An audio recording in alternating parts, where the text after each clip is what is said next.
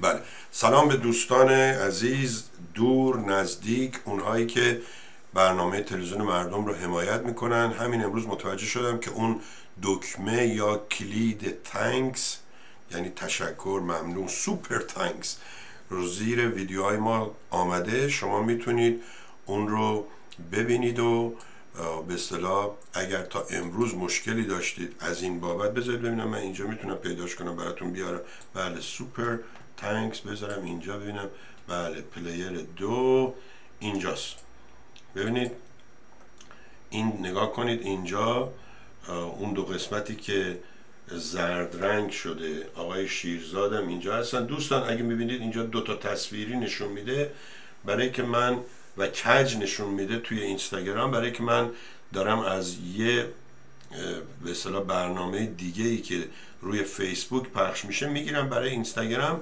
هدف ما حقیقتا اینه که دوستان بیان روی اینستاگرام و اونجا با ما به اصطلاح به گفت و شنود بنشینند اونها بنویسند یا نظراتشون رو بگن ما هم بخونیم ولا و ادامه بدیم. خب دوستان عزیز امیدوارم که سال بهتری رو شروع کرده باشید.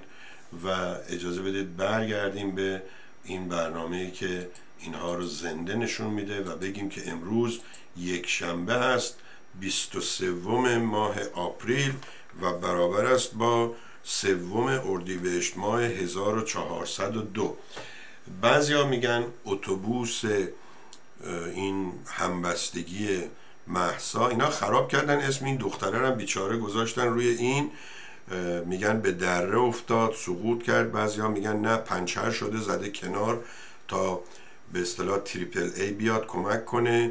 ببینیم چه خواهد شد. من جالبه اگه برگردید برنامه های اون روزا رو مخصوصا همون موقعی هم که اینا گفتن ما یه منشوری داریم درست می‌کنیم و حتی تو تاریخ درست شدن منشور اینا هماهنگی نداشتن گفتم اینم مثل جنبش های قبلی رضا پهلوی که هر جا آش بود رضا پلوی فراش بود عاقبت خوشی نداره. ببینید دوستان لازم نیست شما فالگیر باشید پیشگو باشید تا بتونید یه چیزایی رو پیش بینی کنید. مثلا اگر شما تو جاده دارین میری یه نفر می‌بینید بد رانندگی می‌کنه شما اول از سرعت تو کم می‌کنی از اون فاصله می‌گیری و میگی که خدا کنه این تصادف نکنه. یعنی شما مطمئن هستید که این ماشین با این نوع رانندگی تصادف می‌کنه. خب این که دیگه لازم نیست شما انشتین باشی و پروفسور باشی. این هر آدمی که چهار سبایی رانندگی کرده باشه از رانندگی این طرف می‌دونه که این ره که می‌رود یا به بیمارستان است یا به گورستان است یا به زندان و تیمارستان. آقای رضا پهلوی دوستی که طرفدار پادشاهی هستی. چند بار باید به شما بگه این مرد عمل نیست. خب این گوساله ای بوده ولی عهد. حالا گاو شده. حالا که گاو شده نگاه می‌کنه میگه این گاو نره. اون وقت شما شیر و سطل برداشتید یه چارپای هم گذاشتید نشستید اونجا زیر شکم اینو میمالید. بابا اقلا نگاه کنید ببینید چی رو دارید میمالید. از این چیزی که میمالید شیر بیرون نمیاد. خودش میگه این گاو نره. عجب ملتی هستیم. بعد از یک آدم عقب افتاده ای که در 63 سال 4 سال گذشته یک روز از صبح تا غروب کار نکرده یک شرکت کوچولویی رو نتونسته مدیریت کنه از این می‌خوام نه آقا بیا. شما اسپرم زاده هستی؟ می‌دونید یه سری اسلام زاده هستن یه سری اسپرم زاده هستن. شما چون اسپرم زاده تازه اسپرم زاده کی؟ یه شاهی که دیپلم نداشت و اون احمقم فکر می‌کرد همه چیز رو می‌دونه. چجوری گند زد به ایران؟ با اون دهان گشادش هی وایساد حرف زد.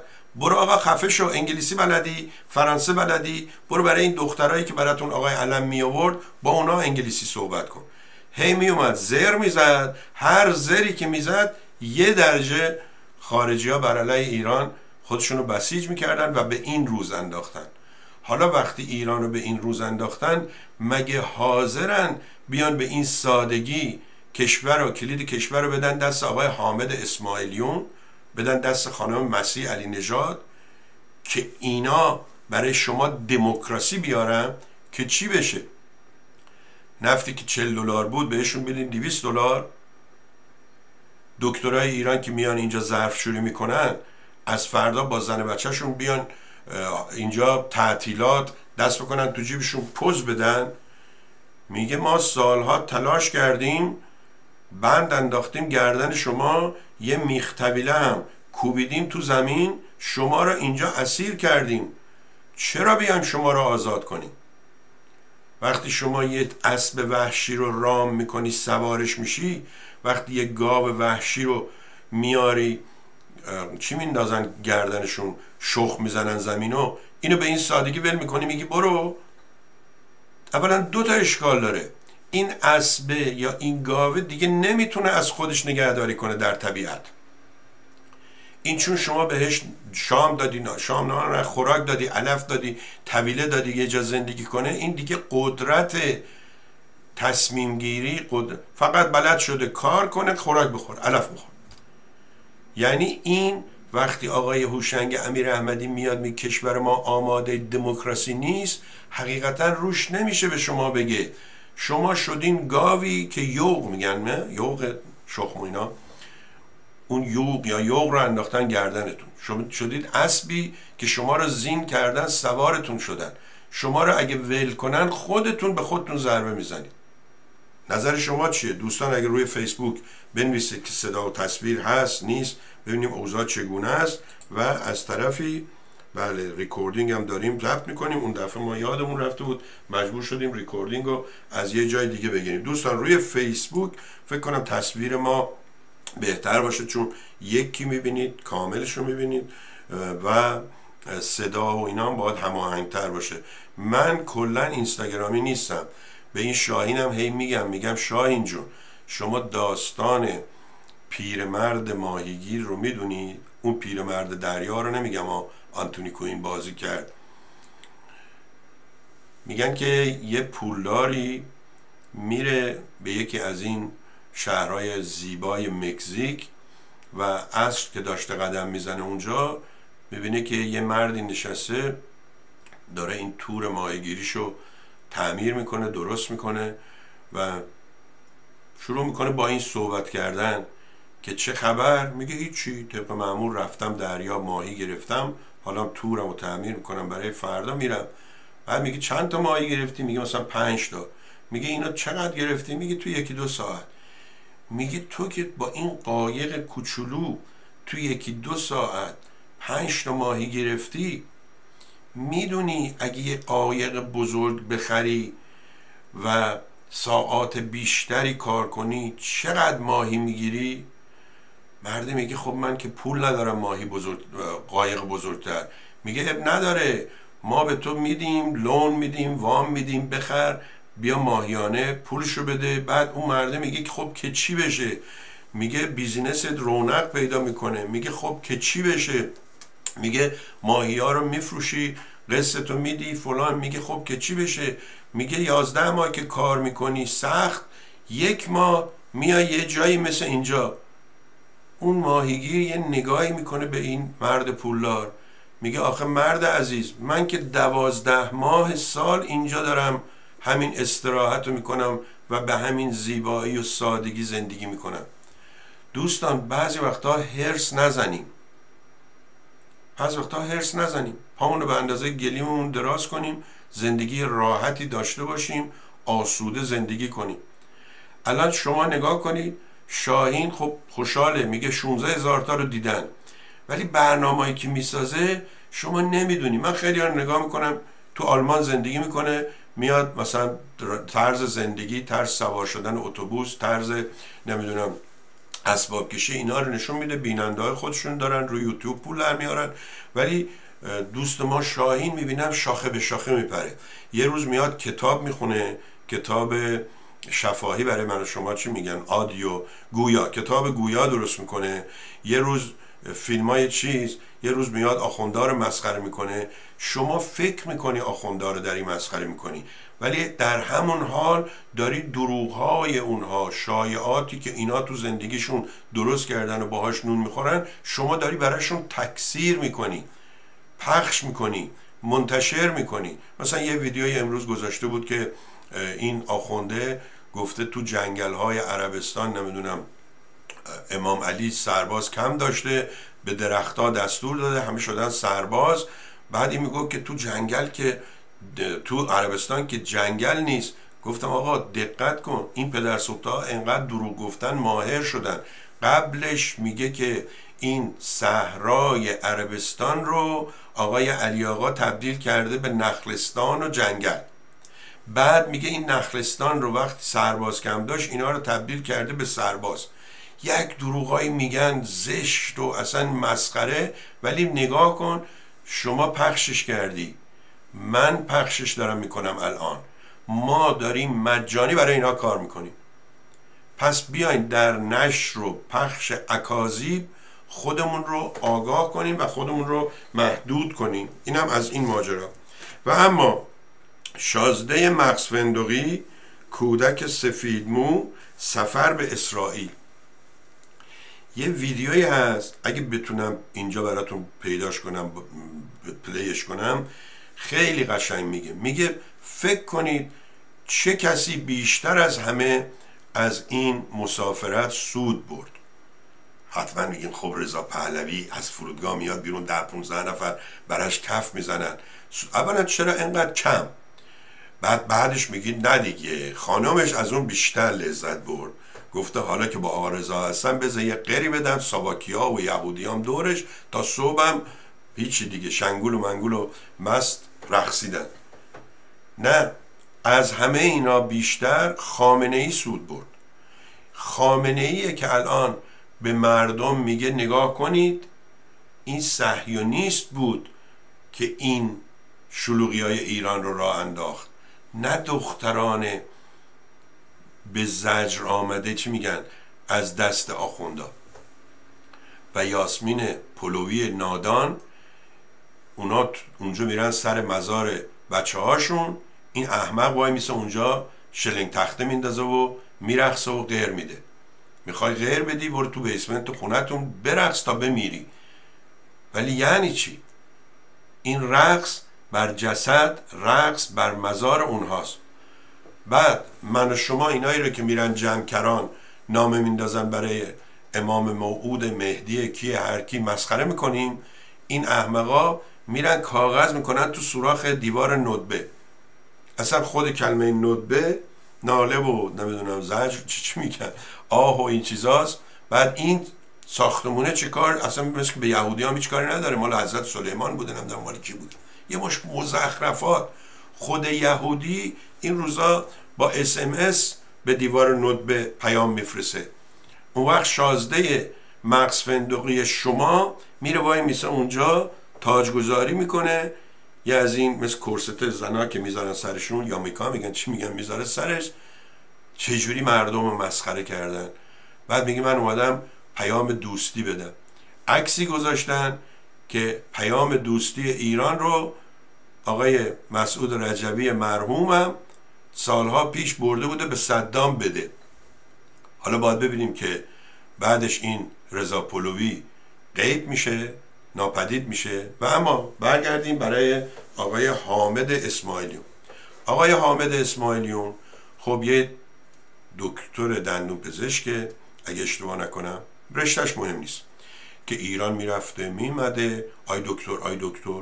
کتابشو مینوشته تو ایران چاپ می‌کرده. یه پولی از اونجا در میبرده خرج سفرشون در میبرده.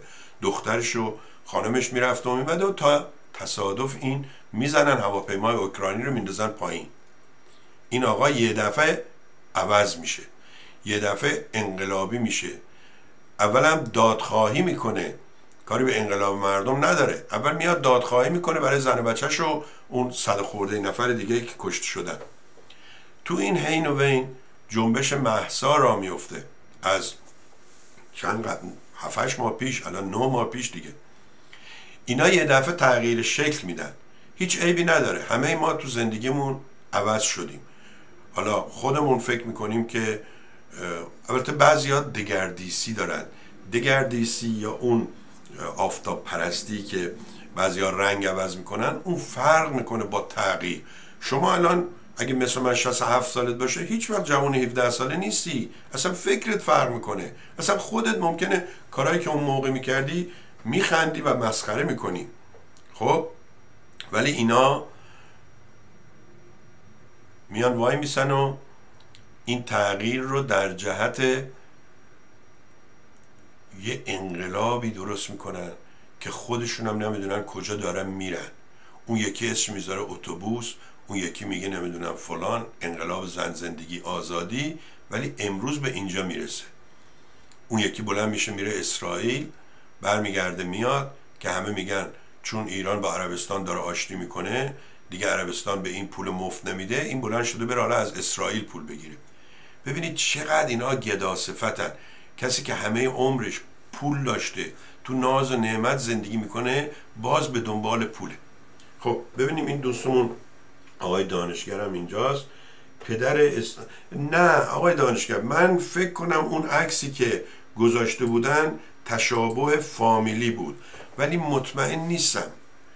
گیرم که پدر همسر آقای اسماعیلیون آخوند بوده باشه. آقا خانم این آخوندا اینایی که میگن از خارج اومدن مزخرف میگن. آقا سه تاش فامیل ما بود. آقای حسن مجد آقای جزایری و آقای دسقیب این سه تاش تو شیراز فامیل ما بود. جمعیت شیراز اون موقع نیم میلیون بود. 480 هزار نفر بود. خب این سه تا آخوندش. که نه از عربستان اومده بودن نه از جای دیگه اومده بودن. قول دیدم خیلی از اینا ریشه ایرانی بودنشون از ما ایرانی تره. حالا اگر رفته یه امامه سیاه گذاشته سرش افتخار می‌کنه که مادرش و عربا گاییدن اون دیگه برای اینه که می‌خواد درآمد بیشتری داشته باشه. به جای نمی‌دونم شیخ بهش بگن سید اینا رو از سرمون بیرون کنیم. حقایق رو قبول کنیم. با در نظر گرفتن حقایق برنامه ریزی رهبر هزینه برنامه رهروانی پیدا کنیم. رهروان منظور این نیست که یک کسی دنبال شما بیفته. منظور اینه که همراهت باشه همگامت باشه. آقای بهرام آبتین میاد یه روز سیبیلش اینجوری می‌کنه. یه روز ریش اینجوری می‌کنه. یه روز کلا نمدی می‌ذاره سرش. یه روز از این چیزا میندازه رو دوشش. یه روز فوش میده. یه روز تلاش می‌کنه با مردم قشنگ صحبت کنه. ولی میاد میگه که اونهایی که به پیمان خود به عهد خود پیمان خود نمی‌دونم چی نکردن. آقا کی با تو پیمان بسته؟ شما اومدی با چهار پنج نفر دیگه اصل نشستی جلو اینستاگرام. احتمالا آبجو و آلمانیت نوشیدی کلت هم گرمه. میگی یک ماه مردم اعتصاب کنن. بعد طرف نمیاد. اون با تو عهد شکسته. یه داستانی بود. طرف عاشق دختر پادشاه شده بود. به دوستش گفت من می‌خوام برم خاصگاری. دوستش گفت آخه احمقی. دختر پادشاه رو میدن به تو جوونی یه لاغبا گفت آقا تو چرا تو همه کارا نمیاری؟ پنجاه درصدش درست شده. گفت جدی؟ گفت آره من که راضی هستم. این پنجاه درصدش. حالا آقای آبتین هم میشینه تو خونه. میگه پنجاه درصدش درست شده. متاسفانه متاسفانه. آقای نیساری هم لابد میاد بهش میگه آقا کاکو برو تو بریم اونم فکر می‌کنه ده درصد 25 درصد اضافه شده. اینجوری نیست آقا. شما خودتون نگاه کنید رضا پهلوی رو مسخره نکنید.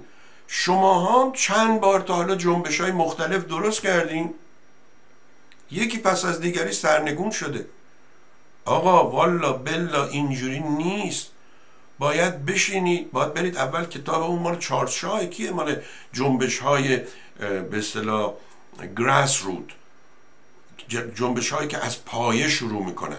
یه نفر نفر میرن. مثلا من میام به این آقای دانشگر میگم آقای دانشگر ما تا امروز نشستیم. هیچ که به فکر ما نبود. من می‌خوام یه گروهی تشکیل بدم بریم مثلا خودمون دیگه قانون چیز رو عدالت رو اجرا کنیم. خب یه نفر رو تشویق می‌کنم برنامه رو بهش میگم. بعد این میگه چی داری؟ میگم والا اصلا مسئله نداریم یه چاقو آشپزخونه داریم. می‌خوام ببندم سر یه چوب بلند. اسپیر بش اسپیر بش میگن اینا. نیزه. نیزه درست کنم. ما بچه که بودیم این گربه ها که میمدن جوجه هامونو می‌گرفتن رفته بودیم اینو درست کرده بودیم. بعد گربه که میمد تو حیات میدویدیم چهار گوشه حیات وای میسدیم وقتی می‌خواست بره با اینا می‌زدیم بهش. عجب آدم های وحشی بودیم. خلاصه میگم اینجوری. بعد آقای دانشگاه میگه نه آقا من یه دوستی دارم. اون مثلا پدرش دوره چنارشوه جون کلت میفروشه. میگم یه دوتا کلت برامون بیاره. خب این میشیم سه نفر میشیم چهار نفر. هی نیاین تو تلویزیون دروغ بگید ما نمی‌دونم قبیله فلان همه تفنگامون روغن زدیم گذاشتیم تو نمد. آقا این فولادوند احمقم همین حرفا رو می‌زد. شما وقتی حرفای یه احمقی رو تکرار می‌کنید در مغز مردم تجسمی که درست میشه مجسمه از شما که درست میشه مجسمه اون احمق است. فولادوندم می‌گفت نمی‌دونم قوم هفلنگ چارلنگ فلان اینا اینقدر اسلحه داریم و همشون به فرمان منم اون وقت برید ببینید به چه ذلتی بلند شد برد بردنش ترکیه و نمی‌دونم لهستان این ورور توی ماشین سرما. برید ببینید ویدیوهاش هنوز هست تو یوتیوب اون ویدیوهای آخرش یه احمق دیگه میاد جمشید شارمد که دیدم متاسفانه آقای عزیزان هی میگه این سرباز وطن قهر آقا چه سرباز وطنی؟ بشینی اینجا چهار تا جوون هیجان زده رو بفرستی برن مسجد آتیش بزنن بانک بشکنن و تو نشستی اینجا دخترت پسرت در ساحل امن اونا رو بندازی به خطر. حالا مثل موش در دست اونها اسیر شده. نه. خب. ببینیم که بله دوستان اگر روی فیسبوک چیزی می نویسین کامل بنویسید. طولانی نه کامل نوشتن با طولانی فرق می‌کنه.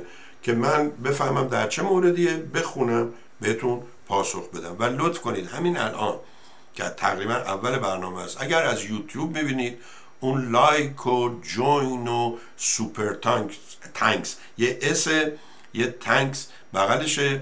اون رو کلیک کنید. و حمایت کنید. والا بلا من به این دو دلار شما به این پنج دلار شما هیچ احتیاجی ندارم. ولی اینجوری باعث میشه که من فکر کنم بابا ایرانی اگه میاد یه برنامه نگاه می‌کنه 5 دلار ده دلار از جیبش خرج می‌کنه نشون میده که مفتخور نیست. و من بهتون بارها گفتم من این پولایی رو که شما احتمالا بدی پتیک عزیز کمک کنه اینا رو روزایی که نزدیک ظهر میرم یه جایی که کارگرها وایسادن.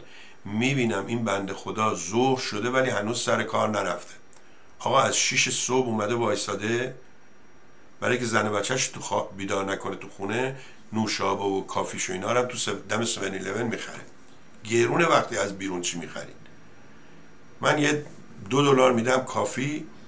با آب گرم نوشته 200 تا فنجون قهوه میشه باش درست کنی ولی اون بیچاره که میاد 5 6 دلار حداقل خرج صبحونش.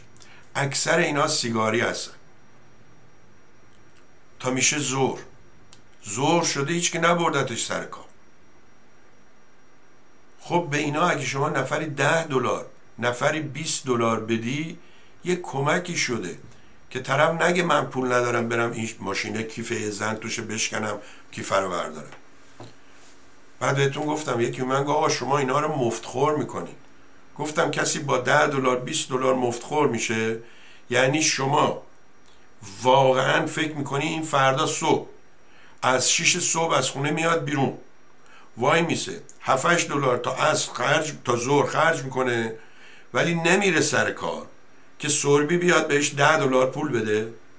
این ماجرای ده دلار تو کشور کجا بوده؟ سودان بوده؟ کجا بوده؟ برای 9 دلار کمک کنن نمی‌دونم خوراک و اینا. چندین نفر کشته شدن. اینم از این. شازده مغز فندقی سفر به اسرائیل. برید ببینید که حتی اونایی که باهاش موافق بودن گفتن این کار در این زمان اشتباه بوده. و بعدم حامد اسماعیلیون جدا شدنش از این نمی‌دونم منشور همبستگی حالا اونایی که طرفدار رضا پهلوی هستن و خودشونم نمی‌دونن اصلا چی میگن میگن خوب شد. اصلا ایشون هم, هم سطح رضا پهلوی نبود. آخه رضا پهلوی چه سطحی داره؟ احمقا خجالت بکشید بیچاره ها قرن بیست و یکم شما هنوز میگین این مرده که اسپرمش از این بوده از بچه خودتون بالاتره؟ واقعا خجالت بکشین چی تو مغز شماست؟ پهن؟ بله خوب شد جدا شد. آقای فرهنگ حمید نوشته بود که خوب شد این مجاهد جدا شد. آقا این مجاهد بود؟ شما می‌دونستی؟ پس رضا پهلوی اولاغ بود که نمی‌دونست. شما محکوم هستید به نادانی. چون خودتون اکت می‌کنید مثل یه نادان. خودتون ادای نادانا رو در میارید. اون یه نفر که بهتون میگه شما نادانی ناراحت میشید. این همین اشکالی بود که شاه هم وقتی بهش می‌گفتن آقا شما تو این رشته نمی‌دونی. ناراحت می‌شد. همه اونایی که بهش می‌گفتن کرد بیرون. چهار نفر پفیوز خایمال نمی‌دونم چاپلوس و علم و فریدون هویدا و جمشید آموزگار و نمی‌دونم این آقای امیر اصلان افشار و اینا رو نگه داشت. از صبح تا شب بله قربان بله قربان. بعدم این فکر می‌کرد یه پخیه. خب نظر شما چیه؟ و اما گرانی و نگهداری پول در بانک. شما اگر به یه سنی رسیده باشید یه خونه ای داشتید خونه رو فروختید به دهاتون رو دادید یه مقداری مونده حالا دیگه تصمیم می‌گیرید که نمی‌خواید خونه بخرین با این خونه های گرون. میگه من ماهیانه میرم یه جا اجاره نشین. خب یه پول نقدی دارین. این پول رو چیکار می‌کنید؟ خیلی از ایرانیا بردن این پول رو گذاشتن تو بانک های ایران برای 20 درصد 25 درصد سود و اونم که دیدید دلار چنان رفت بالا که اینا از اون ور ضرر کردن. ببینم که کاکو ممنون از ارسال این فیلم با الان به پایان بردم. اول برنامه اشاره داشت به هم ارزی با آذربایجان ترکیه و اینها. بله. من و پتیک خیلی فیلم های مستند نگاه می‌کنیم. چون فیلم های مستند قسمت تاریخش و حقیقتش بیشتره و آدم یه چیزی یاد می‌گیره. و اینایی که سفر می‌کنن به جاهای مختلف. شما باور کنید یه آقای شیرازی اسمش نمی‌دونم. نه اون آقای علی آقا جان زاده خیلی ها هستن. یه آقای شیرازی جوانتر باد باشه. این دوربین برمیداره میره بازار وکیل این ور اون ور. شما باور نمی‌کنید. یه دفعه اون روز نشون داد گفت اینجا بیبی بی دخترونه. اینم مدرسه شعله. دوستان من اولین مدرسه ای که رفتم تو شیراز اسم مدرسه شعله بود. کلاس اول دوم اونجا بودم. اصلا حالا می‌فهمم چرا پتیک یه دفعه از کالیفرنیا حوث دیدن اون قبرستون رو توی دارون رادون داران فکر کنم تیران و داران هست توی نجف آباد اصفهان کرده. اصلا این یه چیزیه که شما نمی‌تونی هم تعریفش کنی که خب یعنی ما وجودمون از این چیزها ساخته شده. دو سال مدرسه شعله دو سال مدرسه مزفر دو سال مدرسه پهلوی سه سال دبیرستان احمدی سه سال نمی‌دونم هنرستان محمد رضا شاک شد طالقانی و الی آخر. اینا هست که تشکیل شده یعنی ما رو تشکیل داده و ما برای این چیزی که امروز به نام سوربی اینجا نشسته خاطره هامون برامون هست مونده. چون نگاه کنی نصف عمرمون ایران بوده بیشتر, نصف بیشتر از نصف اون توی آمریکا و آلمان بوده و اینها. و من یک جایی رفتم یه چیزی بخرم. آقای تاگو من بهش گفتم که فلان چی می‌خوام. گفت ایرانی هستی؟ گفتم بله. گفت من یه آقای ایرانی هست به نام پاتریک اسمش نوشته بودم اینجا. ایناش. پاتریک بت دیوید. چرا این اسمشو گذاشته؟ پاتریک بت دیوید؟ نمی‌دونم. گوگلش کنید. آدم بسیار موفقیه. گویا یه چیزی رو درست کرده فروخته بعد که پولدار شده رفته دنبال این که به دیگران یاد بده. دوستان شما این لذت معلمی و یاد دادن رو نمی‌دونید چقدر خوبه. و هر وقت به یه کسی یاد می‌دید دوباره اون یه تکرار میشه مرور میشه برای خود. در هر صورت من رفتم یه چند تا ویدیوش نگاه کردم دیدم با آدم خیلی معروفی مصاحبه کرده. حتی کلاس و اینا می‌ذاره. اگه خواستید برید نگاه کنید. من الان اسمش اینجا می نویسم پاتریک P A T R I C K فاصله بت B E T دیوید. آمریکایی ها خیلی دوست دارن سه تا اسم داشته باشن. مثلا یالا بعدا میکنتش پی بی دی اول اسمشون رو طولانی می‌کنن بعدا سعی می‌کنن اینو به اصطلاح چیز کنن. من نمی‌دونم اینجا روی این نوشته add view اردشی request to be on your live video. من هیچ وقت همچین کاری نکردم. آقای اردشی go live with اردشی بزنیم ببینیم چی میشه. آقا اردشیر اگر صدای منو میشنوی بفرمایید. اتفاقا دیدم که بله این آقای گو لایو وید ارچی ولی من دو بار زدم ارچی شیخی. آقای ارچی صدای من میشنوی؟ نمی‌دونم. در صورت این دوستانم بعضی وقتا میان خب می‌خوان صحبت کنن بعد مثلا همون موقع ما نمی‌فهمیم میرن دیگه نیستن و اینها. بذارید من ببینم این ماس ماسک چیز رو بکشم بالا. چی میگن؟ اینستاگرام. اون برنامه که شما تو اینستاگرام دارید می‌بینید که دو تا رو هم هست. اون وید بلستر اگه یه وقت یه کسی می‌خواد برنامه های تلویزیونی را بندازه باز یه اشکال دیگه که تو اینستاگرام هست.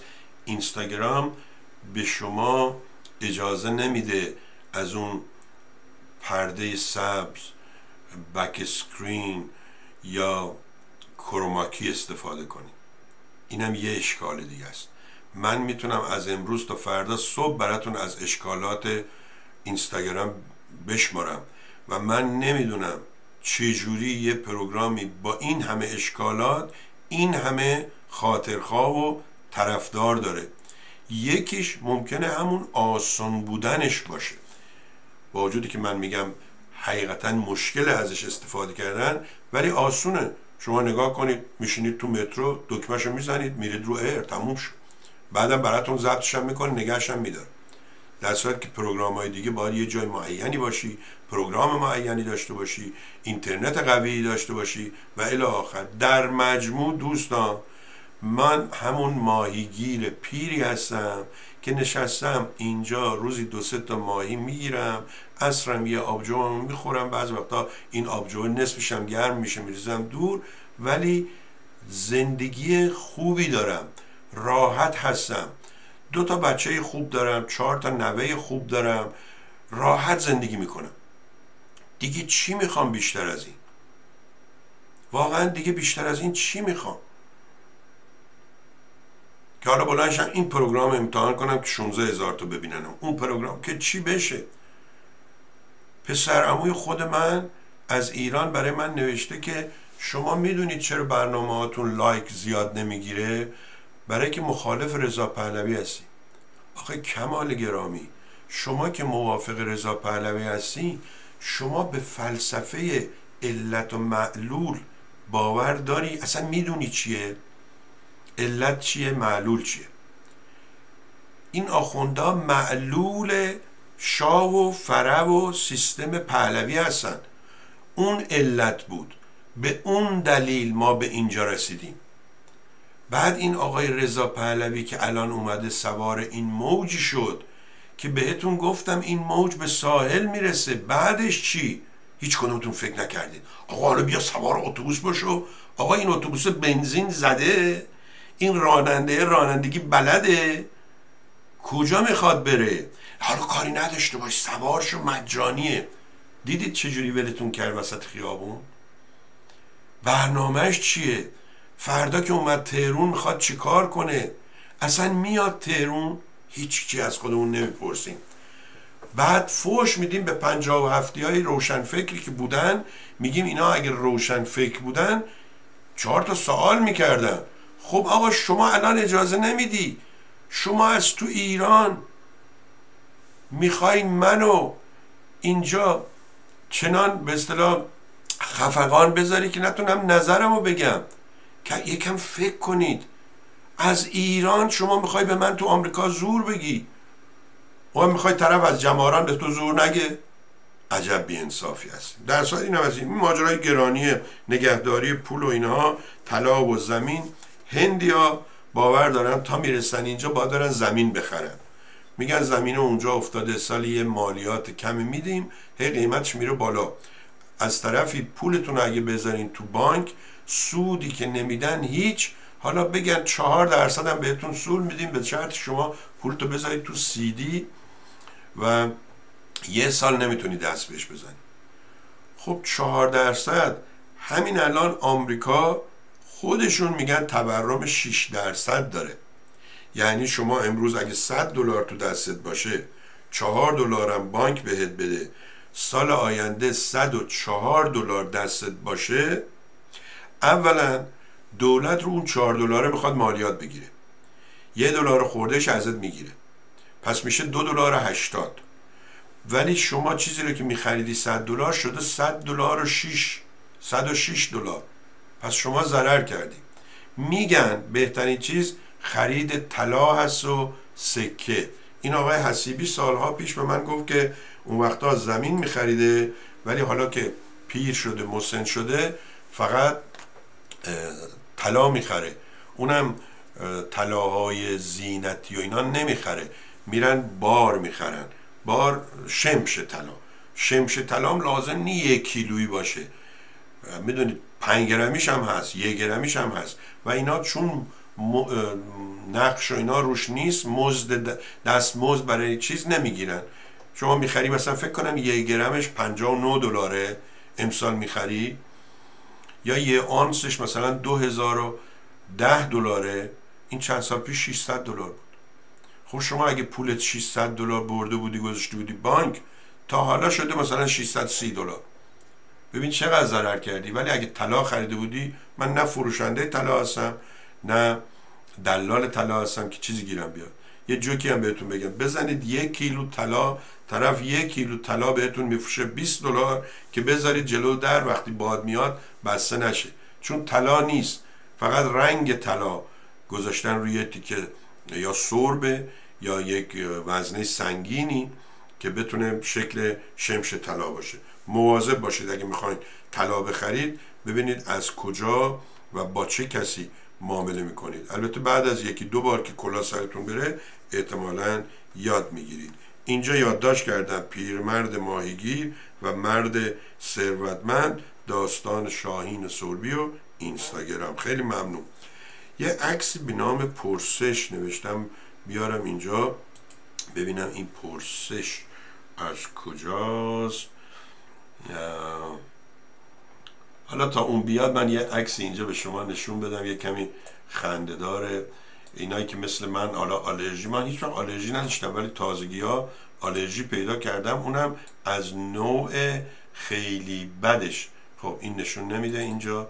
بذارید اینجا براتون باز کنم. این عکس رو یا باز کنم. واز درسته یا باز؟ باز درسته. باز و بسته. خب سلکت اریا این عکس رو من به شما نشون بدم. ما آخر نفهمیدیم چرا این سیستم ما کمرای دو چرا این سیستم ما وقتی عکس رو مستقیم می‌برم می‌ذارم داخل خودش سیاه و سفیدش می‌کنه و خرابش می‌کنه. آقای دانشگر میگه سکه بهترین است. طلا مالیات ندارد اما نقره دارد. کجا؟ بگید انگلستان اروپا آمریکا. تو آمریکا همه چی مالیات داره دوست عزیز. من اگر امروز برم چهار تا شمش طلا بخرم اونا به من رسید میدن. بعد فردا که می‌خوام بفروشم باید به دولت بگم این شمشا رو فروختم. انقدر خریدم انقدر فروختم. کمرای دو رو بذارید بنویسیم. نگاه کنیم. نوشته از, از فصل جفتگیری فقط حساسیت فصلیش به ما رسیده. سرماخوردگی عطسه و سرفه. اینو احتمالا جوانای مجرد نوشتن که میگن به اصطلاح حالا می‌دونی که میگن درختها دارن چی میگن؟ بزرفشان می چینم اصلا دیگه یادمون رفته واقعا. امروز کی بود خدایا؟ به لشکرکشی میگو لشکرگشایی. خیلی از این اشتباهات توی رادیو تلویزیون ها میگن. البته خب چیزی هم نیست. یک برنامه داشت آقای مهدی تبریزی مسافرت به اصطلاح با اتوبوس به نیویورک که امروز دیگه رفتن. ولی من توی فیسبوک و اینها گذاشته بودم. بد نیست اگر به اصطلاح این چیزها رو می‌خواین با خبر بشیم من سعی می‌کنم خیلی سر دوستان رو درد نیارم. روزی صد هزار بار چی براشون بفرستم. این سفر امروزه که صبح رفتن احتمالا از همین الان فیلماش میاد. دوستان عزیز که روی بذارید من اینو بزنم اینم بزنم. روی اینستاگرام دارید ما رو می‌بینید. اگه لطف کنید بیاد توی فیسبوک همین صفحه سوربی اونجا بهتره. آقای دانشگرم نوشتن در انگلیس اینجوری هست. البته من باورم اینه که واقعا خب اگه یه کسی امسال دو اونس طلا می‌خره سه سال دیگه میفروشه اون دو اونسش که زیاد نشده شده هم همون دو اونس ولی دولت این چیزها حالیش نیست. دولت میگه شما اینو خریدی اینقدر حالا فروختی اینقدر اینقدر سود بردی پولشو بده. بریم توی این live. من اون بله این لایو رو پیدا کردم. اون پرسش رو برای شما بیارم اینجا و ببینم که چه خواهد شد. پرسش. بله پیدا شد. اصلا یادم نیست راجع به چی بوده این پرسش. آها یه دوستی ما داریم. این فکر کنم یه جورایی هم طرفدار آخونده هست و حکومت جمهوری اسلامی. مطمئن نیستم چون بعضی از این دوستان وقتی یه چی بهشون میگی بعد میگن نه آقا من اتفاقا مخالفشونم. میگم والا نوشته های شما و اینها حکایت از یه چیز دیگه می‌کنه. آقای حامد صرافپور. ایشون یه جایی راجع به یه چیزایی اینم یه نوع بت پرستیه یه سری داریم شاه اللهی فکر کنن شاه بت بوده. حالا این آقای اسپرمزاده هم چیش هست. آقای فری رزجو آقای فری خان رزجو چجوری من فکر می‌کردم شما شیرازی هستی؟ بعد دوستانم گفتن بعد شما گفتی نه من تهرونی هستم. در صورت بعضی آدما آدم باهاشون احساس دوستی می‌کنه. فکر می‌کنه هم شهریشه هم مدرسه ایشه. شما یکی از اون آدم هست خیلی خوشحالم که اینجا هستید. دوستان بازم لطف کنید. like و subscribe و زیر یوتیوب اون join و super thanks و اینا رو بزنید و اگه دوست داشتینم حمایت کنید. اینم از این ماجرا. این آقا نوشته بود که چند سلبریتی غرب زده اینجور و اونجور و اینها بعد میگه مرتضی اعجوبه جوانی است که با رایانه هم رقابت می‌کند و شگفتی میآفریند. ادامه میده وی چنان به این کتابهای دینی و عرفانی تسلط دارد که قبل از اتمام پرسش جواب می‌دهد. من برای ایشون نوشتم این که کار بسیار زشت و اشتباهی است که قبل از اتمام پرسش جواب بده. اگه تو آمریکا بود دو سه بار خفتش میگردن یه سوالی رو می‌کردن. این تا بوغ می‌زد آخر اون سواله یه چیز دیگه می‌پرسید و این ناکام میمون. در صورت دوستان از کسی بوت نسازید. نه رضا پلوی بوته نه این آقا پخیه نه شاه پخی بود نه خامنه ای پخی هست. دیدید خامنه ای این روزا الان به چه عجزی افتاده؟ دنبال اینه که یه جوری این مشکلات رو بنداز گردن این و اون. و یه برنامه جدیدی بود دیدم بسیجی توی حرف زدن این هی سر و صدا می‌کنن. من متوجه نشدم چرا. شما اگر فهمیدید چرا به منم بگید. اینم از این. خب ببینید همین حماقت های اینم با دوباره تصویر اینجوری شد. حماقت هایی که براتون تعریف کردم باعث میشه یه همچین چیزایی درست بشه. که شاه نادانی که خودش دیپلم نداشت من عمدن میگم که اونایی که فکر می‌کنن شاه 6 تا دکترا داشته و اینها بگن آقا این سوربی عجب دروغگوییه ما بریم دیپلم شاه رو پیدا کنیم. و وقت می‌بینن که سوربی درست گفت محمد الهی. دوستان بیاین روی فیسبوک ما رو ببینید. بله آره این آقا درباره ژاپنی می‌گفت که به قومشان پیوسته. متوجه نمیشم منظورشون که پدر من شیرا آهان بابا پس حالا فهمیدم. و ما فامیلی رزجو هم داریم. بله بله. خیلی ممنون. آره این آقا درباره ژاپنی می‌گفت که به قومشان پیوسته. نمی‌دونم درباره کی میگه. به فرمان شاهنشاه آری از مهر والا حضرت ولیعت دوستان گوش کنید نگاه کنید. این عکسش که انداختن چند سالشه؟ هشت سالشه نه سالشه ده سالشه. به ریاست انجمن ملی خانه های فرهنگی فرهنگ روستایی انتخاب شدن ای ننگ بر شما که ملت ایران را به این درجه آوردید پایین که طولتون رو با این سن و سال یه مردکه پنجاه ساله هیجان زده شده که حالا پسر گیرش اومده دودولتلا رو کرده رئیس انجمن ملی خانه های فرهنگ روستایی. حالا از اون دودولتلا چی شد؟ این مردک دیوانه که رفته کنار این دیوار که جوک ها ساختن راجع این دیوار.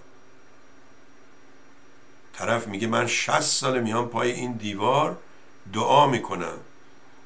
ازش می‌پرسن خب دعاات مستجاب شد؟ میگه نه انگار که من دارم با سنگ صحبت می‌کنم. خب مردک داری با سنگ صحبت می‌کنی. اینم آقای رضا پولوی خب ویدیو به اصطلاح کاریکاتور قشنگی کشیدن. وقتی که اون مردک رادان گفت که دوربینای ما اصلا اشتباه نمی‌کنن همه چیز رو می‌بینن یکی از این کاریکاتورها اینه. اگر اندکی زاویه دوربین ها را تغییر دهید مشکلات بیشتری حل می شود خیلی این کاریکاتور قشنگه یه نفر تا کمر رفته تو سطل آشغال دنبال آشغال. اینا چی هستن؟ بازیاب میگن. اینایی که میرن قوطی و خالی و شیشه و اینا.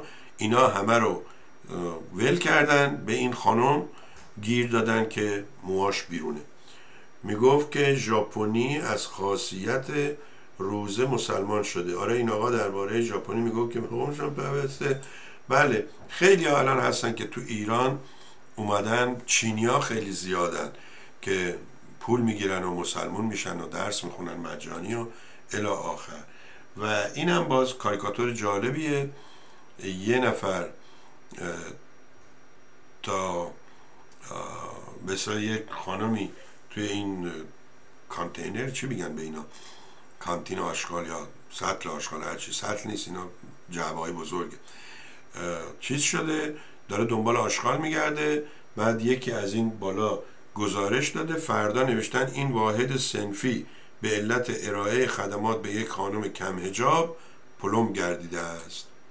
و اینم عکس آقای اندی و همسر شینی که در سفر به ارمنستان و برنامه هایی که برای اونها اجرا می‌کنن عکس گرفتن. این به اصطلاح بنای یادبود برای ارامنه که سال 1915 یا 1905 توسط ترک ها البته فکر موقع عثمانیان بودن حالا اینا هم بحثه.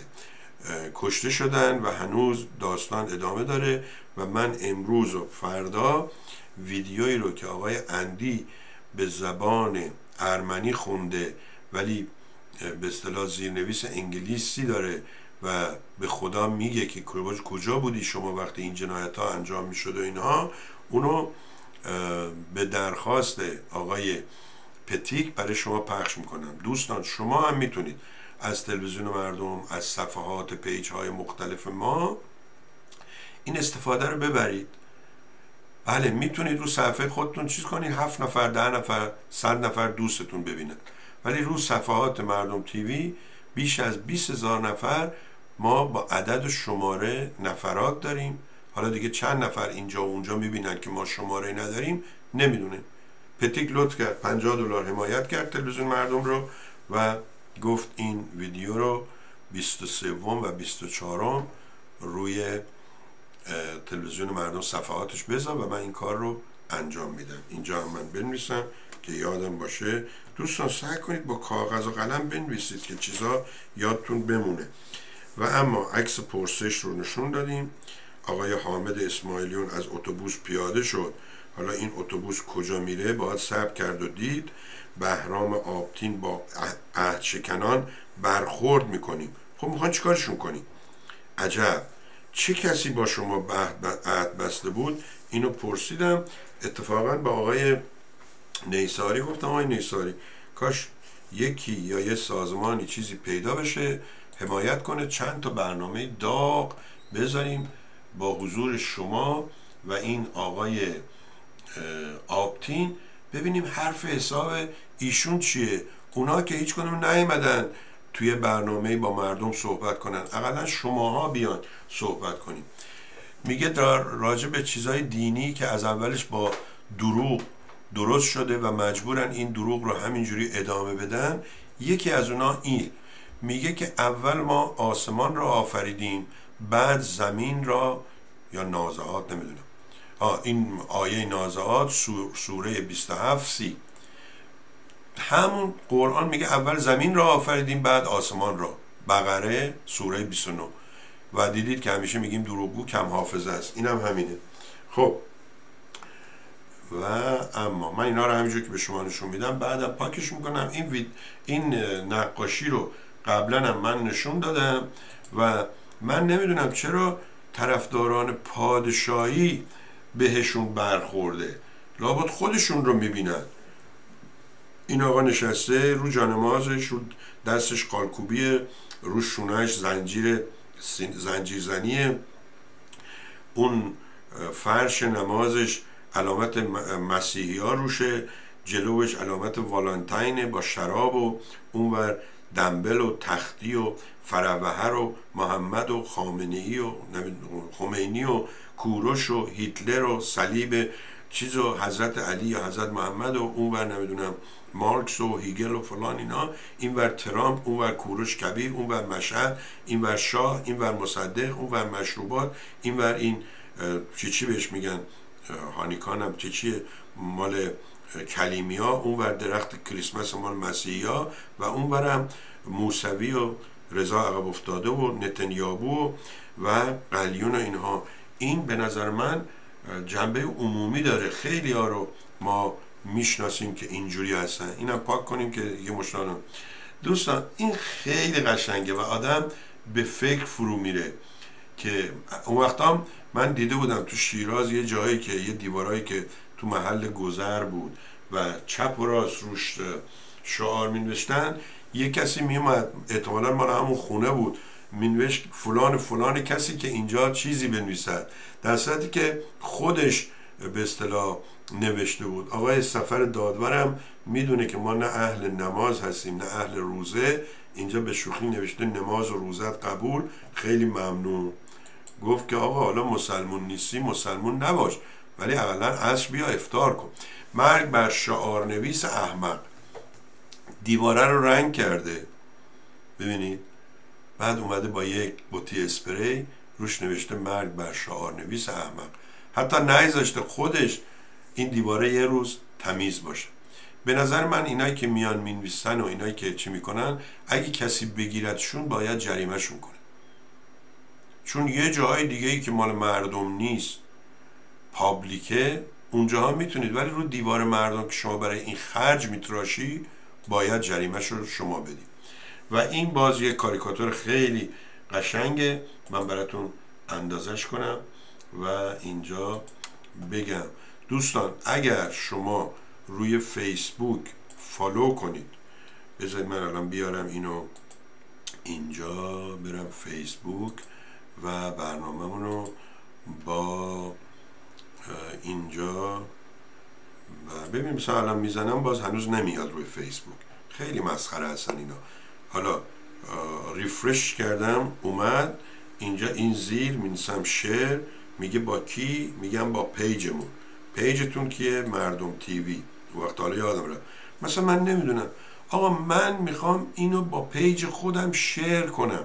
دیگه چرا باید سویچ کنم؟ هر روز یه چیزی اضاف می‌کنن که باعث دردسر میشه. خب بیا. من صداشو کم کنم. share می‌کنیم و اونجا خواهد بود. اینم از این. بعد نوشته که you have answered فلان leave. حالا شما نمی‌دونی. وایسی keep editing یا leave. مینوسیم leave. ببینیم چی میشه. درست نیست. یه چیزای غلطه. بله. حالا ما رو برد تو صفحه مردم تیوی بدونی که اصلا بخوایم ما بریم اونجا. ما فقط می‌خواستیم اینو شیر کنیم. حالا ببینیم اینجا ما رو می‌بینین سب کنید. مردم تیوی بعد بیایم اینجا فیسبوک بعد بیایم اینجا مردم تیوی خیلی خرابش کردن. هر روز بدترش می‌کنن. بله اینجا هستیم. حالا اینجا باز می‌تونیم شیر کنیم. مثلا شیر تو your story public این ماجرای استوری و فید و نمی‌دونم اینا رو من نفهمیدم. همون اینستاگرام هم ده تا 20 تا جای مختلف داره یعنی هممون رو دوستان گیج کردن. هر کدوم خوب شده رو اومدیم اینجا. هر کدومون هم فکر می‌کنیم که بلدیم ولی هر کدوم به اندازه فهم خودمون می‌فهمیم. این عکسی که بهتون گفتم آقا رضا نادان بلند شده رفته اسرائیل کسی که پدر بزرگش با هیتلر ارادت داشت و نمی‌دونم چه کسی پشت این دعوت این بوده که اینجوری به این ضربه زدن بعدا معلوم میشه. نگاه کنید دوستان این عکس و نوشته های حقیقی مال خودشون که یا گفتن یا نوشتن. این رجوی مرحوم گفته به عراق سفر می‌کنم تا پیام دوستی مردم ایران را برسانم. شازده فندقی گفته به اسرائیل سفر می‌کنم تا پیام دوستی مردم ایران را برسونم. یکی نیست به اینا بگه آخه شما چه کاره هستین؟ کی به شما نمایندگی داده؟ حالا بیاین اینجا ببینیم که دوچوله چی نوشته؟ نوشته کنارگیری حامد اسماعیلیون از منشور محسا در شبکه های اجتماعی بسیار سر و صدا کرده است. در نخستین ساعت انتشار این خبر در توییتر اسماعیلیون حدود دو میلیون نفر آن را خواندند و چهار هزار بار در توییتر بازنشر شد. یه مصاحبه هم انجام داده با کی؟ با خانم ثابت. برید اونم نگاه کنید به احتمال زیاد جالب خواهد بود. برگردیم به اون صفحه خودمون و ببینیم که این عکس چی میگه. اینجا. این اکثر من اندازه صفحه کردم ولی حالا که زدم کمرای دو بزرگ شده بود رفته بود اونجا. نمی‌دونم چرا با خدا دیگه خبر نده. میگه که مردم دارن فریاد می‌زنن. فقر آزادی. بعد اینجا میگه که مرگ بر دیکتاتور اونجا میگه که مرگ بر خامنه ای اون وقت این پایین نوشته رفراندوم کراپشن ها بعد همین دیگه سر که freedom viva رضاشاه free Iran inflation دیکتاتور و populism و اینها. و جالب ترین چیز در این رابطه این بود که حکومتی که خودش وقتی که مردم شور و هیجان انقلاب داشتن با رفراندوم یادم هم نیست فکر کنم 16 ساله ها هم می‌تونستن بیان تو رفراندوم شرکت کنن. اون دوازده فروردین 1358 یه نوع رفراندوم بود. رفراندوم احمقانه. جمهوری اسلامی بله یا خیر. اون موقع رفراندوم خوب بود. همه صلاحیت داشتن تو رفراندوم شرکت کنن. ولی حالا خامنه ای میگه مگه همه می‌تونن تحلیل کنن؟ مسائل روز و جهان رو که بتونن در رفراندوم شرکت کنن. آقا شاهین ببین شما با کی طرفی؟ شما با مسخره کردن اینا؟ فکر نکن اینا رو مسخره کردی. داری براشون تبلیغ مجانی می‌کنی. شما ببین با کی طرفی. کسی که خودش به اصطلاح وجود حکومتش از رفراندوم شروع شده امروز میگه مگه رفراندوم نمی‌دونم مردم می‌تونن تو رفراندوم شرکت کنن.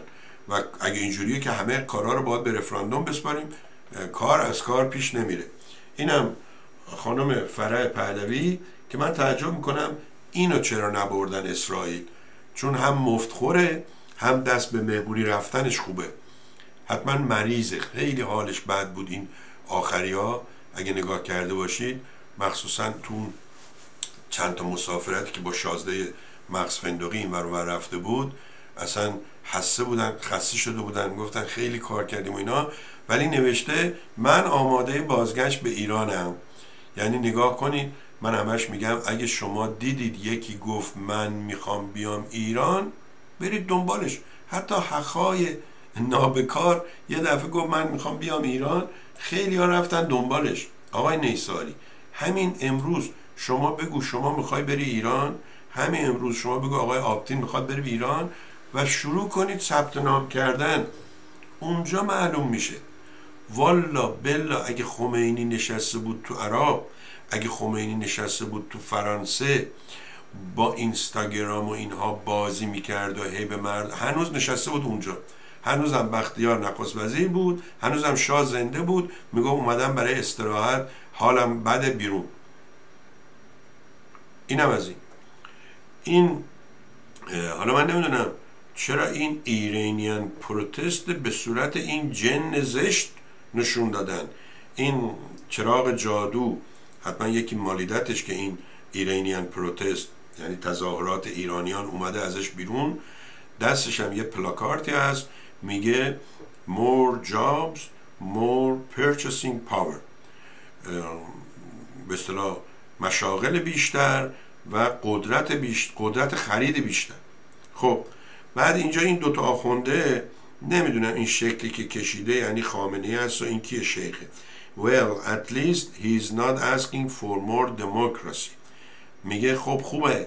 اقلا این برای دموکراسی بیشتر داد فریاد نمی‌کنه. اون دومی هم که پشت سرشه میگه I would worry more about economic demands.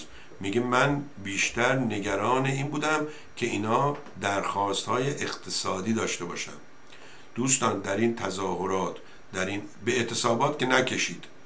شما چون نامرتب بود چون چیز نداشت رهبر نداشت هیچ جا ندیدین که مردم بیان خواسته هاشون رو منسجم در آخر تظاهرات و راهپیمایی ها بخونن.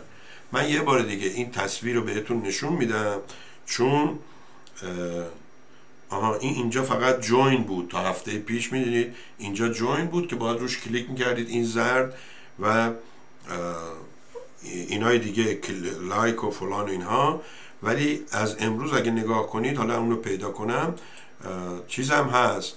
اینم اون دوستی که لطف کرده بود و به اون خانم زهرا میرزایی 171 میلیون ریال کمک کرده بود و شما بگی دریق از اینکه این خانم میرزایی یه تشکر ساده از این آقا بکنه. و وقتی من بهش گفتم خانم خوب بود یه تشکری از این علی آقا می‌کردی گاه سربی می‌خوام یه, یه تشکرنامه مخصوص براش بنویسم. به نظر من این خانم دروغ میگه. حالا امیدوارم قسمت های اولی دروغ نباشه. ضمن این که امیدوارم اون قسمت اولیش هم که گفته برادرش مریضه دروغ بوده باشه و برادرش سالم قویتر از من و شما باشه. خب اینم یه نصیحتیه. به اونایی که میگن من می‌خوام کار کنم پولدار که شدم بعدا برم وکیشن. باز برمیگردیم داستان پیرمرد و ماهیگیر و مرد ثروتمند. این بالای این نوشته Why you shouldn't wait until retirement to start traveling? میگه چرا شما نباید صبر کنید تا بازنشست بشید بعدا برید مسافرت. اینا رفتن احتمالا اسپانیا این یا ونیس ایتالیا رفتن توی قایقای عاشق و معشوق سوار شدن. اینم قایقرانشونه ولی خسته هستن خوابشون برده. و البته یه دوستی وقتی من براش اینو فرستادم گفت حالا شما ببین خود لذت این خوابیدن روی آب و این قایقا مثل ما شیرازی ها میگیم ننی شما میگید ننو تکونشون داده چه لذتی داره؟ اونم حرفیه. و اما اینو دفعه قبلم نشون دادم اون این کسیه که پروفسور رولن که تو ایران هیچ جا ازش قدردانی نشده به غیر از این آجوری که یا کاشی که روش نوشتن زدن اینجا ولی یه کسایی با حماقت اومدن این لوله خورتومی رو از روش رد کردن. و اینم توی اون آبدارخونه یا می‌بینید سطلای زباله و اینجا می‌بینید اگزیت که نوشته این در خروج نوشته رستروم یا من نمی‌دونم این به زبون کلیمیا نوشته. در صورت خیلی هم مسخره کردن. آبز اکثر بزرگتر بهتون نشون بدم. ببخشید. که رضا پهلوی رو حتی توی یک اتاق یه هتل درست حسابی اینا ازش پذیرایی نکردن و در آبدارخونه و سر راه دستشویی و اینها. هرچی بود گذشت. اینم از این سندلی ها رو نگاه کنید. از این سندلی های کرایه‌ای که تو برنامه ها میارن این آب, آب سرد کن و اینها و اینم از اون. این را نمی‌دونم خوندم یا نه ولی چون پاکش نکردم یه بار دیگه می‌خونم.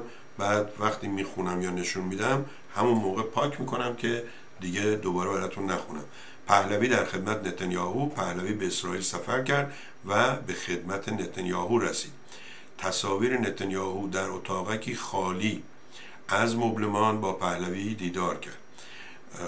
بعد میگه که رسانه های اسرائیلی نوشتن که نتانیاهو نخست وزیر اسرائیلی اسرائیل پیش از مراسم یاد بود قربانیان هولوکاست با رضا پهلوی دیدار کرد. در این دیدار گیلا گامال، گامالیل وزیر اطلاعات اسرائیل نیز حضور داشت. این دیدار در یک اتاق خالی بدون مبلمان که سه صندلی آهنی و دو سطل آشغال دارد برگزار شد. خب اینم که قبلا بهتون نشون دادم و اینم خانم فرع پهلوی مشوق رضا پهلوی که برید برنامه های من با آقای احمد علی مسعود انصاری نگاه کنید که میگه رضا پهلوی یه روز زنگ زد به احمد علی مسعود انصاری و گفت بیا اینجا ایشون رو از دست مامان جونش نجات بده و اونم رفت و برشتاش از مراکش گویا آوردش آمریکا و ببخشید من یه آب بخورم.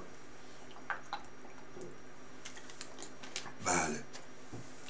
زمان بله مامانش نوشته مامان فدات شه که اینقدر نترسی.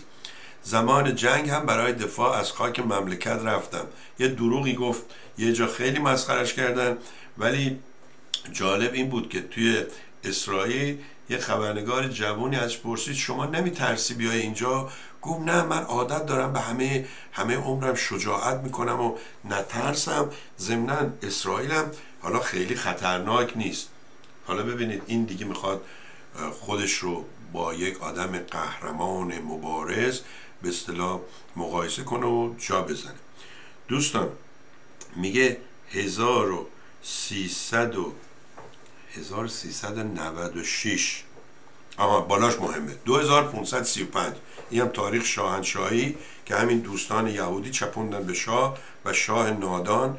نمی‌دونست که ایران یکی از قدیمی ترین فرهنگا و حکومت ها و ملیت و اینها رو داره و افتاد در دام این کلیمی ها که کلیمی ها, کلیمی ها بهش بگن ببین ما 5000 سال سابقه داریم تو 2500 سال. و اونم تاریخ رو عوض کردن که این سال 1355 وقتی می نویسن 2535 شاهنشاهی سال 1355 دوستان دو سال قبل از انقلاب. اطلاعات اولا برای من جالبه که این روزنامه 56 صفحه داشته. نوشته شاهنشاه گفته ما نمی‌خواهیم بیت المقدس در دست صهیونیست ها بماند. ببینید اگه شاه نابغه بود آقای رامین اعتبار پس این پسر الدنگش چرا این کار می‌کنه؟ اینم قبلا بهتون نشون دادم بازم بهتون نشون میدم و جالبه روزنامه های زمان شاه رو که با نظارت خود حکومت شاه چاپ می شده وقتی نشون میدیم بازم شاه فحش میدن تهمت می‌زنن تهدید می‌کنن. شاهنشاه در مصاحبه مطبوعاتی با روزنامه‌نگار فرانسوی فرمودند ایران ژاندارم منطقه نیست. ما به کشورهای عربی در حال جنگ با اسرائیل کمک می‌کنیم. گفتم دهان گشادی داشت و داستان خوندیم لاک پشت و دو مرغابی کتاب دوم دبستان که لعنت به دهانی که بی موقع باز شود. و اما آها این دوستمون آقای جهان منصوری من نمی‌دونم ما بعض وقتا یه چیزهایی که می‌نویسیم دوستان یه چیزی به نظرشون میاد می‌نویسن معمولا در رابطه با اون پستی که ما گذاشتیم نیست. ایشون نوشته جهت اطلاعات جهت اطلاعات. جبهه ماریویل اودوسا کریمه هم دست ماست. داریم امنیت کریدور شمال جنوب رو تأمین می‌کنیم. برای شکست تحریم ها البته به عنوان مستشار داریم روزها رو به طرف اودسا ترغیب می‌کنیم. ما دستور میدیم در کل دنیا. آقا والا بلا نکنید. همین گندگوزی ها رو شاه کرد و دیدید که دیگه یه بار همچین گوزید که بلند شد با سر رفت تو سطل آشغال. نکنید این کار من یه بار این آقای یزد خدا یزدان خدابنده اومد تو برنامه و بهش گفتم که آری به اتفاق می‌توان جهان گرفت جهان می‌توان گرفت. گاه سوربی شما فعلا کوچه و خونه و شهر خودتو نگه دار نمی‌خواد جهان بگیری. مرد مؤمن آقای جهان منصوری این آخوندا خودشون درمونده شدن الان موندن. از لحاظ اقتصادی از لحاظ سیاسی از لحاظ اجتماعی از لحاظ روابط بین المللی با دیگر کشورها. اون وقت شما هنوزم دست بردار نیستید. والا بلا نکنید. نمی‌خوام بهتون بگم خجالت آوره ولی حقیقتا خجالت آوره. خب تموم شد. این داستان خیلی خوشحالم. به پایان آمدین.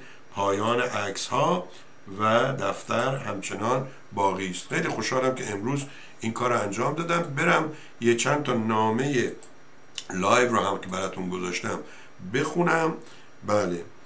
و یه قراره که یکی از دوستان نوشته قرار از کودک سفید مو تو پرانتز شازده دوشنبه جنبش جدیدی به نام جنبش شاه پرستان را تأسیس کند.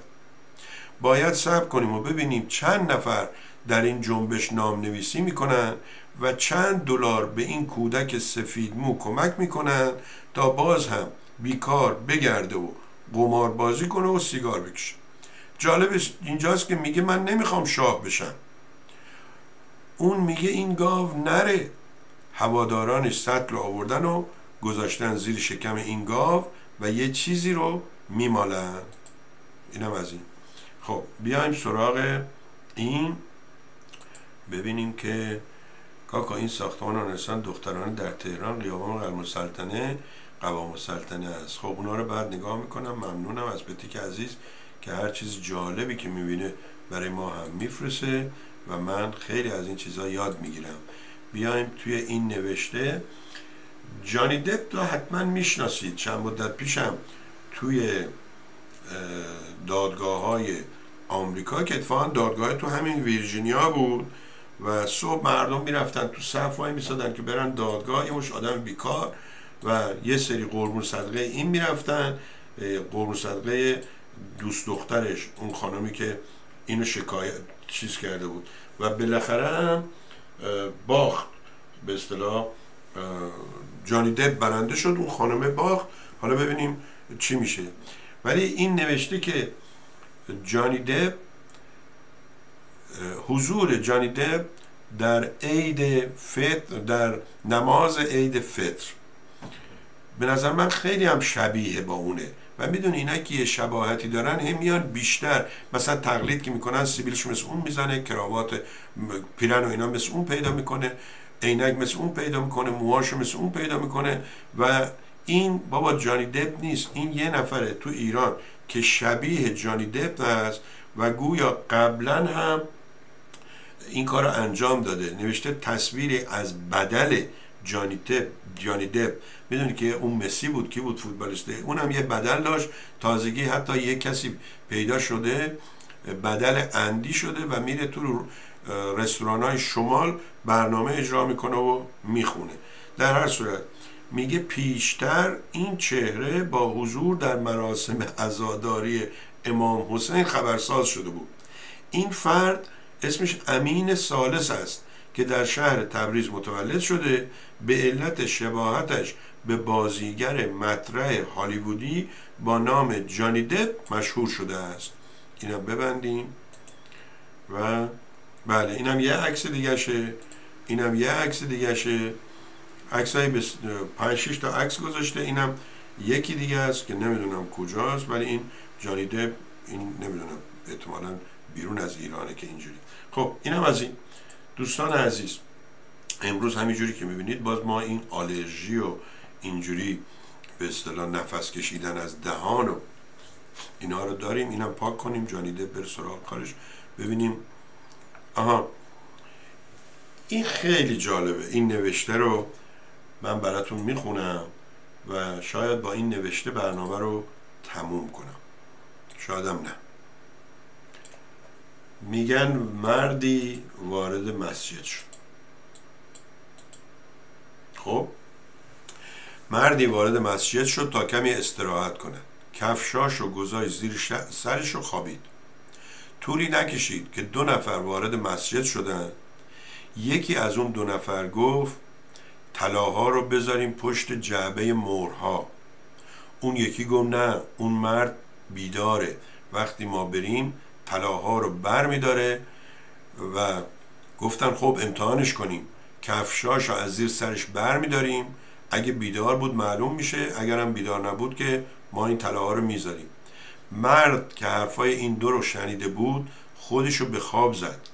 اونها کفششو برداشتن و مرد هیچ واکنشی نشون نداد و گفتن پس خوابه طلاها رو بذاریم زیر جعبه های مورای نماز و بریم.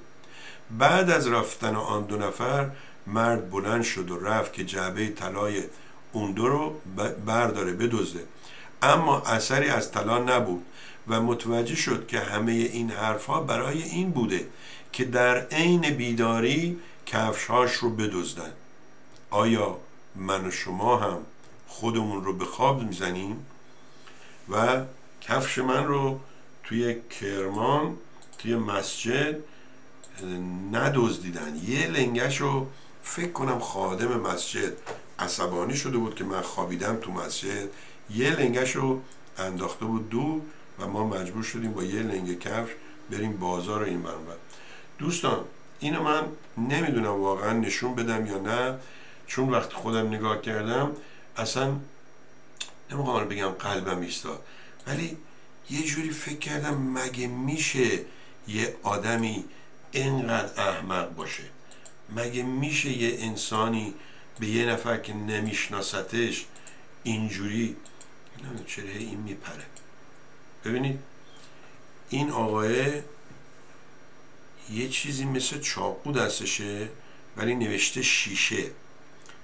نوشته که پلیس نیویورک NYPD bashed in head with bottle. بادل یعنی بطری. زده تو سر این زنه که اینجوری وایستده تو کنار پیاده رو. بعد پلان by stranger in unprovoked برانکس اتک توی منطقه برانکس هم بوده.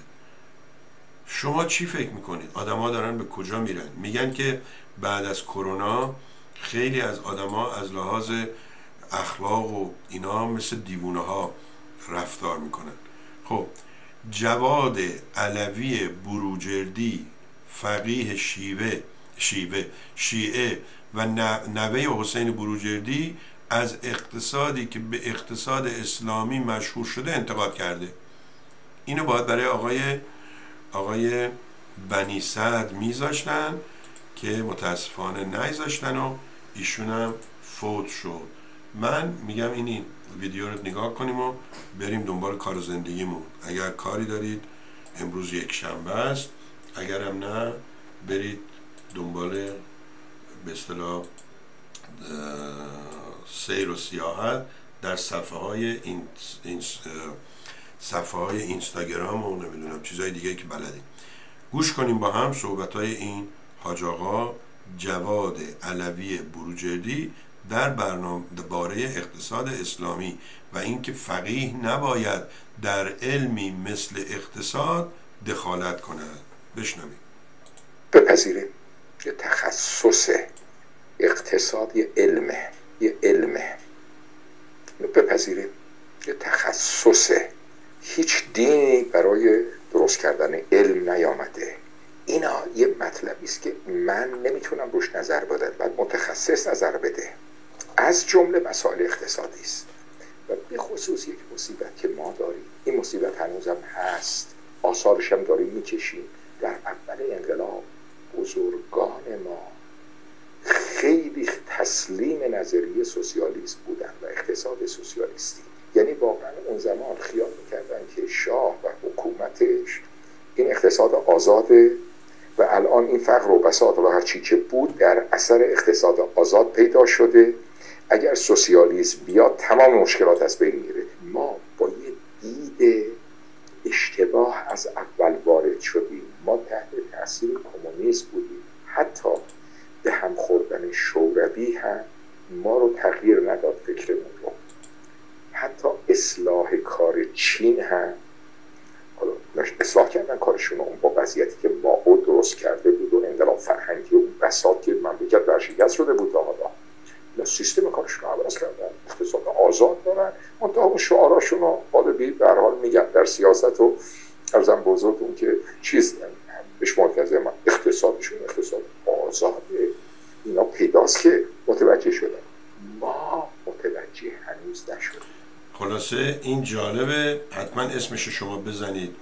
توی چیز می‌تونید ویدیو کامل رو ببینید. بعض وقتا ما اینجا نمی‌تونیم ویدیو کامل رو نشون بدیم چون یوتیوب ممکنه بعدا چیز بذاره کاپی رایت بذاره. ولی خیلی جالب میگه دوستان. ببین میگه این آخونده هم تو وحشت کمونیست بودن. عجب ملت بدبختی هستیم گرفتار شاهی شدیم که از وحشت کمونیست ایران رو داد دست آخونده که امروز برن تو بغل روسیه و چین.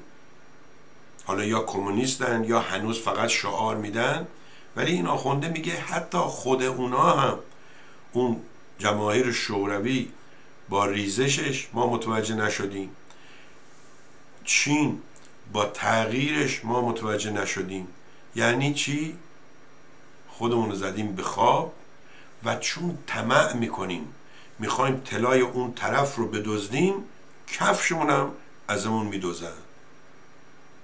حالا نظر شما راجع به این برنامه چیه؟ اگه تا این موقع نگاه کردید من ببینم چقدر با شما بودیم چند دقیقه چند ساعت. یک ساعت و بیست و دو دقیقه با شما بودیم. فکر کنم خوبه دیگه. اگه من بتونم شما رو هشتاد و دو دقیقه نگه دارم اصلا باید برم تو گینس اسممو بنویسن. توی اون کتاب رکوردداران. یکی از مزایای اینستاگرام اینی که اونایی که برنامه می‌ذارن خیلی کوتاه می‌ذارن برای مردمی که حوصله ندارن بشینن یه چیزی یاد بگیرن. شما دیدی الان زنگ می‌زدن از استراحت از بیرون بازی می‌بریم سر کلاس. از همون لحظه اول دارم می‌خواد زنگ بزنن ما در بریم. چون اونجا نمی‌خواستیم چیزی یاد بگیریم. همون در رفتن از کلاس به این روزمون انداخت. حالا بشینید برنامه های سوربی رو اونایی رو که قبلا بوده و شما ندیدید تماشا کنید. از اینکه با تلویزیون مردم بودید ممنونم.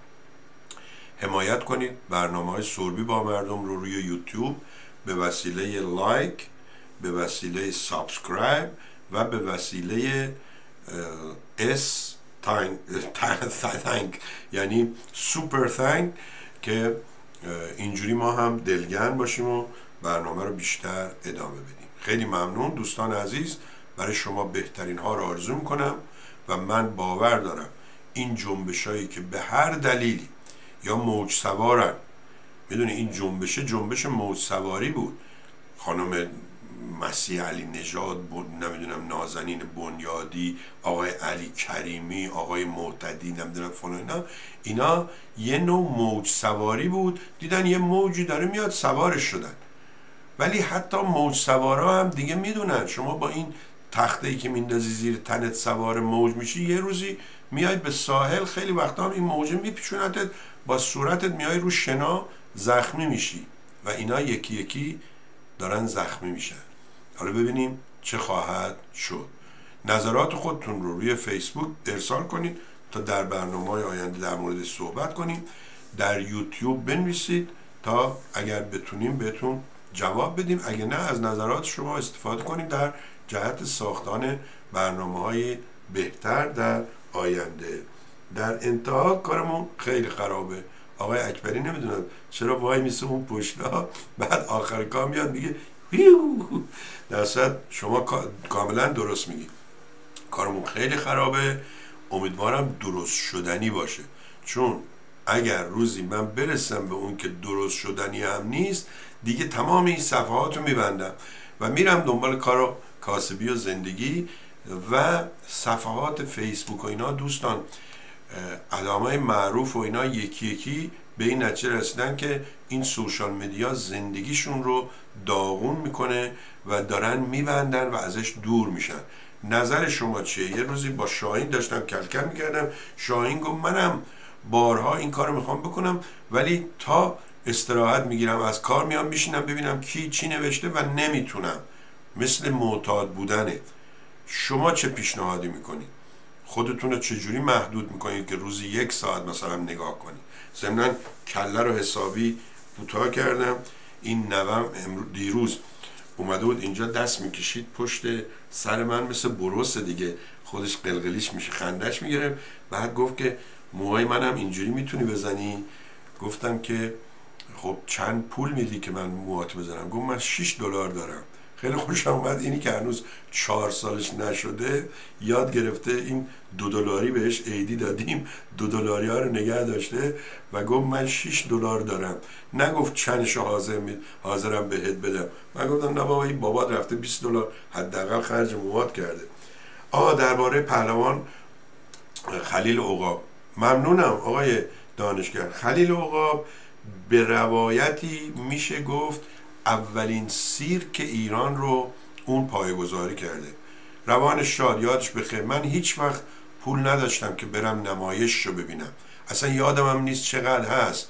فکر کنم تو باغ ملی یه جایی چیز کرده بودن برای به عنوان باغ وش یه بوگندی هم می‌داد. باغ ملی از هنرستان ما پیاده که می‌رفتیم بالا اون باغ ملی بود. یه بوگندی هم می‌داد. همه باغ, باغ ملی های تمیز هم همیشه بوگند داره. چه تهرونش چه اینجا حتی آمریکا. و نمایش خلیل و من تو خیابون بعضی وقتها که بنا به دلایلی نمی‌دونم مثلا چهارم آبان تولد شاه یا دلایل دیگه ای دیده بودم که زنجیر پاره می‌کرد. میخوابید ماشین جیپ از روز سینهش رد می‌شد بعدا کامیون رد می‌شد. ولی اینی که مثلا فیل و با دندون بلند کرده و اینا ندیدم. چون اینا رو پول می‌گرفتن تو سیرک. خود من از سالها پیش به این نتیجه رسیدم سیرک باعث اذیت و آزار حیوونا میشه. خیلی اینا رو تنبیه می‌کنن. پاشونو فیل می‌کنن تو زنجیر سالها میبندن اینها. بعد به مرور زمانم از بین رفته و خلیل اوقاب به روایتی 98 سالش بوده به روایتی 99 سالش بوده. آدمی بوده که از لحاظ غذا و خوراک و اینا سالم زندگی می‌کرده و حتی یه دفعه ناراحت شده بود. گفته بود من تو کانکس زندگی می‌کنم ولی احتیاج ندارم کسی بهم کمک کنه و اینا. و این آقایی بود که آقای چوپان فامیلیشه. خیلی هم لحجه شیرازی تر از من داره. رفته بود و کمربند پهلوانیشو تقدیم کرده بود به خلیل عقاب. آفرین به این آقای چوپان قهرمان و آفرین به خلیل عقاب که 99 سال با افتخار زندگی کرده و امروز آقایی از انگلستان به من میگه از ایشون هم بگو. اینه که سعدی میگه مرده آن است که نامش به نکویی نبرن اینا کسایی هستن که همیشه زنده هستن. بله. میگه که باغ ملی سیروس قهرمانی بود. آه سیروس قهرمانی بود. نمی‌دونم. خلاصه من خلیل عقاب و می‌دونم با اون نمایش های چیزی که می‌داد. و چرا سیرک میگن؟ نمی‌دونم. درصد اونم پول نداشتم برم ببینم. باغ ملی باری کرده. درست میگی درست میگی درست. بیچاره سرمنش شد. از نزدیک در خیان رودکی شیراز دیدمش. و همچنین به بستک لار می آمد و مردم کمک می‌کردن روانش شاد یادش گرامی باد. خیلی ممنون آقای دانشگر خیلی ممنون دوست خوبمون آقای اکبری. آقای اکبری از حال و اوضاع خودت برامون بگو. می‌دونم که به قول آمریکایی ها you are in good hand. اینجا یه بیمه هست به نام Allstate تبلیغش اینه که دست اینجوریه ماشین شما و خونه شما و شما تو این دست اینا هستید. بعد بهتون میگن you are in good hand. یعنی شما در دستان خوبی هستید. من یه مدت برای آقای مو پارسه مصدق پارسا توی Allstate بیمه میفروختم و میخندیدم. بهش میگن که بهش می‌گفتم این علامت آل استیت خیلی مسخرن. میگه you are in good hand. زیرش باید بنویسید تا موقعی که ما دستمون رو باز نکرده باشیم. دستشون رو باز می‌کنن شما و خونه و ماشین و اینا میفتیم پایین و این کار رو بیمه ها انجام میدن. وقتی خونتون سیل میاد زنگ می‌زنی میگه او سیل اومده؟ میگه بله. میگه شما بیمه سیل نداری. او توالتت بکاپ کرده آب اومده تو خونه شما توال 20 دلار در سال ندادی این نوع بیمه رو بخری. او درختت افتاده اینجوری؟ نه ما پول درخت که میفته خسارت به خودت می‌زنه نمیدیم. اگه به همسایت خسارت یک مسخره بازی این بیمه ها فقط شالاتانیزم بازی و کلا سر مردم گذاشتن. اندی رو اینجا نوشتم که ویدیوشو بذارم. بعد از این برنامه 23 و 24 و شما هم نگاه کنید. من برای پتیک نوشتم با وجودی که ارمنی نمی‌فهمم متوجه نمیشم. وقتی این داشت میخون من اشکم در اومد. بعدا نگاه کردم دیدم ای این زیرش داره انگلیسی می‌نویسه. محض این انگلیسی که متوجه می‌شدم اشکم در اومد که به خدا میگه خدا تو کجا بودی؟ و الی آخر. دوستان عزیز شما به خدا باور دارید؟ اگه به خدا باور دارید به سرنوشت باور دارید از امروز وقتی می‌خواین از خیابون رد بشید این ور اون خیابون رو نگاه نکنید. همینجوری مثل گاف سرتون بندازید برید. You are in good hand ها؟ دست خدا دست خدا به همراهه حالا یه وقت مینه همچی می‌زد پس گردنت که چی بگم من؟ نمی‌فهمم این چی شد بیچاره سرونش شد. نمی‌دونم. این نمی‌تونم بفهمم چی نوشتی بله. از نزدیک در خیابان من خیلی من دیگه فوت شده رفت هرچی بود گذشت رفت. ولی من دیدم که توی جای بسیار کوچیکی زندگی می‌کرد. ولی میگو من افتخار می‌کنم که اینجا هستم و خودش گفت احتیاج به کمک هیچ کس نداره. دوستان عزیز این برنامه تا لحظاتی دیگر دقایقی دیگر روی یوتیوب قرار داده میشه. شما هم لطف کنید برای دوستانتون و برای دشمناتون بفرستین. دوستانتون تشویق کنید برنامه ما رو ببینن. دشمناتون دشمنانتون رو به این وسیله شکنجه بدین. روز روزگار بر شما خوش. شما هم می‌تونید در تلویزیون مردم برنامه داشته باشید. شما هم می‌تونید ویدیوهایی که دوست دارید مال خودتون نباشه تو تلویزیون مردم تو صفحات مختلفش پخش کنید با هزینه خیلی ناچیز و کم. ولی اینجا حرف مفت کسی نمی‌تونه بزنه. مرسی که با ما بودید. آ نوشته بیچاره روانش شاد. آه بابا خب این نوشته بیچاره سرونش شاد. آها تان نوشته. دمت گرم آقای اکبری که خوندی درست کرد بله بیچاره هم کلمه خوبی نیست. خود منم استفاده می‌کنم ولی میگن کلمه خوبی نیست. روز روزگار بر شما خوش. به امید فردای بهتر و آینده روشنتر. مرسی که با ما بودید.